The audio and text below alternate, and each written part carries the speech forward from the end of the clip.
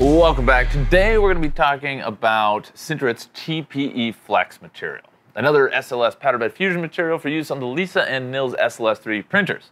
Now TPE is really more meant for functional parts and prototypes, from pumps to bellows, baskets, uh, gaskets, and other items that need to be elastic and still need to survive in challenging environments. So it's very elastic with huge elongation. It's very durable, very dense, and capable of being sealed after the fact. Now, after you seal it, it's watertight and airtight. Let's talk about where you're going to see this material in industries. Uh, some of the major applications we've seen is actually in medical industry prints, pre-surgery and training parts, or mock-ups and models, etc.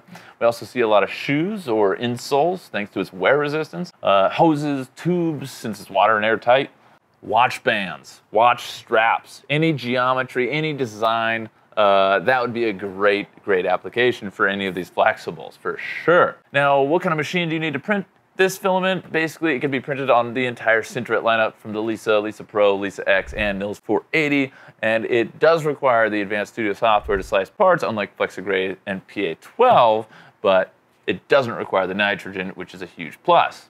Uh, if you're enjoying these breakdowns, by the way, hit that like and subscribe. Leave a comment down below. Let me know what else you want us to go over. We really appreciate it. Now, let's talk about some of the basic material specs. One unique feature of this material is that it can be made air and water tight, and the final products can be skin touch certified, which is actually a pretty big deal in fashion, in medical, and a lot of other industries. That's something you can look out for uh, I mean, really in medical, there's so many applications. So TPE has a shore hardness of 90A, which is somewhere between a shoe heel on like a dress shoe and a shopping cart wheel.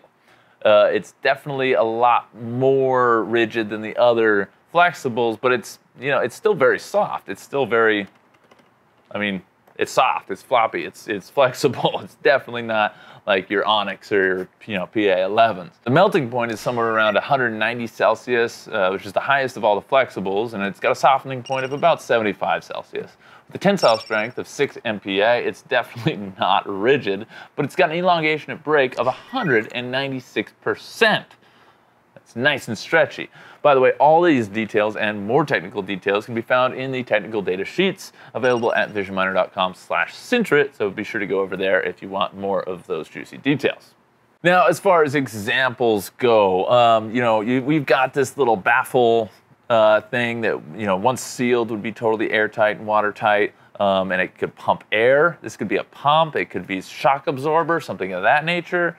Um, we've got these models uh, out of the, this is actually Flexa Bright um, of a heart, you know, so the amount of detail you can really get in these flexibles, but still have them, they're like little models. You could use this in, in a classroom or, or in, in school or in teaching, or even at like, um, say a museum where you're printing out different parts of anything and you want people to you know, touch, feel them or whatever. It's a soft, durable material that's gonna last a long time. Now, one of the cool things about TPE that's a little bit different is we have these examples of coatings applied to the TPE. Uh, and they make it a little bit more rigid. And uh, you can apply colors and different things like that. So we've got a blue, a silver, and a red. And uh, of course, the regular one is just a gray color like this. And you can tell this is a lot more flexible without the coating. This is a BASF coating. Um, obviously, it's, it's much more flexible. This is actually very flexible. Let me show you a comparison compared to, all right, we got Flexa Bright and we've got Flexa Soft and we've got TPE, just regular sealed TPE and Flexa Grey. Because uh, you can actually print at different hardnesses. Uh, if you want to learn more about that, check out the other video. Um, so let's see. TPE, lots of bendy, lots of springy. That's definitely springy. And now a lot less springiness in this one. Still very flexible, but a lot less springy. This one really like rebounds. It's got a, it's got a, it's got a frequency to it. It's like boing. Um, and then we've got Flexa Grey also more dampened, I would say. It's more dampened sort of feel than the TPE. And of course, Flexa Soft, which is more of a, a flop than anything else. Now, if I compare the, let's just check this out. We've got TPE and a sealed TPE. So you can notice the difference in color, but this one's gonna be sealed to be water and air tight. So let's see the difference here. Let's just bend them both at the same time. Yeah, very similar. I don't, I mean, the sealed one is, is definitely a little bit more rigid. Definitely a little bit more rigid, um, but very cool stuff. Lots of cool stuff you can make with it. And uh, yeah, uh, let's check out some examples in picture form. Hoses and tubing are a great application for this. Uh, obviously, we've got this baffle part right here, but even uh, different types of housings or hosings for maybe it's coolant, maybe it's airflow, anything of that nature. You know, something like this where it's a uh, cable connector protector shroud of some kind. You know, this will go around so it's nice and flexible, but still strong, still industrial still can be used in you know harsh environments.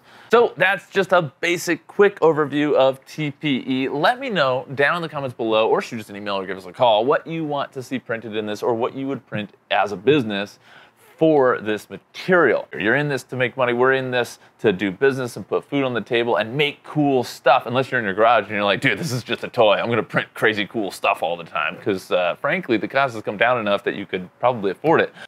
Regardless, I digress. If you're printing for business, reach out, send us a 3D file, and we'll send you a part breakdown of cost, how much electricity, powder, depreciation, everything in a nice formatted uh, PDF so you can see if you print this many, it'll cost this much per part, and at scale, how much that cost will go down. So we can actually check if this makes sense for your business case or not, and uh, we're here to help with that. We also sell a lot of high temp 3D printers for PEEK and ULTEM, as well as 3D scanners, and obviously full SLS systems. So thank you guys so much for watching. Reach out if you got questions. Always here to help. Have a positive rest of your day, and I'll see you in the next video.